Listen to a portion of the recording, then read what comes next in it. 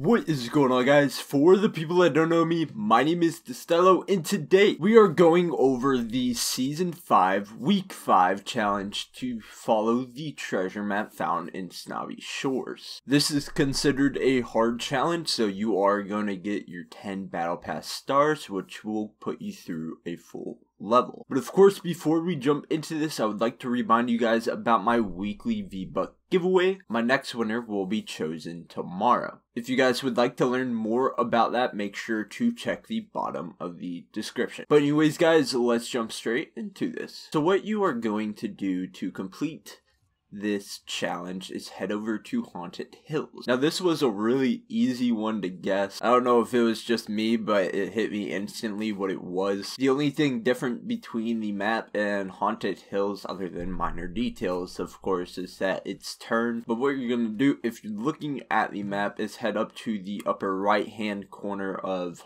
Haunted Hills or really to the left of the giant church. You're going to land on top of that building and your battle pass star will be there. Make sure to play out the game or kill yourself somehow. Don't leave the match or it won't count.